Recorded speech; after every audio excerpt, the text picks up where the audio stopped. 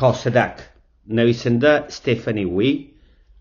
برگردان به فارسی کتابخانه درخت دانش. برگرداننده کاوه آهنگر.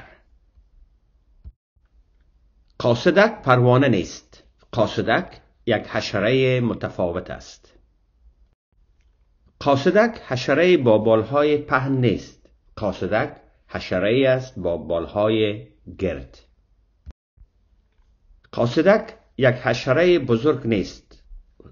قاصدک یک حشره کوچک است قاصدک خالهایی دارد که از لحاظ اندازه و شکل با هم شبیه اند بدن قاصدک سرخ است که خالهای سیاه در آن وجود دارد قاصدک چگونه این همه خال سیاه در بدنت پیدا شدن؟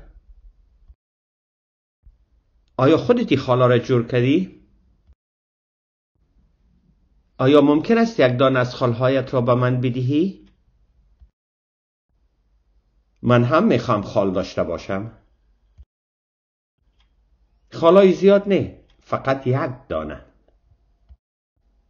می‌خواهم یک خال سرخ در پیشانی خود داشته باشم تا شبیه قاصدک شوم.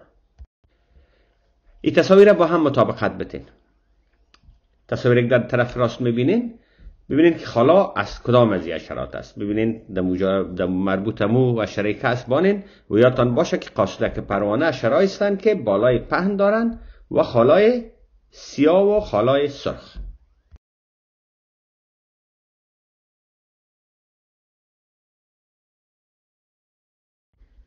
سطح خانش کتاب قاصدک یک است و بر کودکهایی در نظر گرفته شده است که مشتاق به آغاز مطالعه هستند.